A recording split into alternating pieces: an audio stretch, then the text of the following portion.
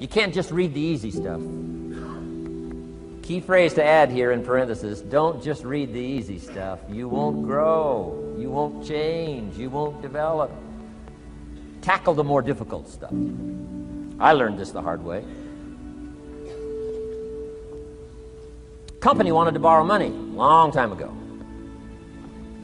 Up in Canada. Company wanted to borrow some money. The bank said, Well, yes, we will loan the company the money if Mr. Rohn will sign personally. And I wanted to play hero, and I knew the company could pay it back. Quarter of a million dollars. So I signed. No problem. Sure enough, within less than a year, they paid it all back. Quarter of a million dollars. I am now a hero. Well, about a year later, this company gets in financial trouble.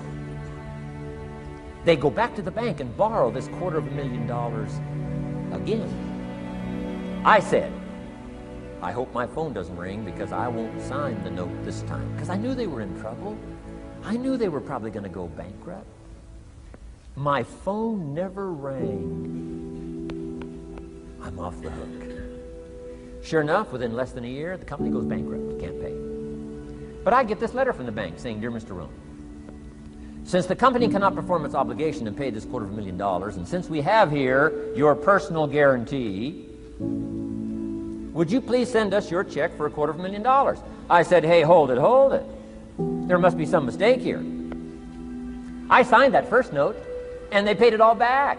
I wouldn't have signed the second note. I didn't sign the second note. Well, what I didn't know I had originally signed was a continuing guarantee. You don't have to be a lawyer, but you got to know contracts, what to sign, what not to sign, backups, good advice, how to be safe rather than sorry.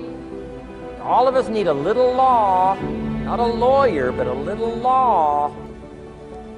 I'm asking you to study a little law, know what to sign, know how to defend yourself, right? Say, hey, we'll get back. Don't sign too quickly. I mean, there's all kinds of things here. Be a student. Don't be lazy in learning. How to defend as well as nourish.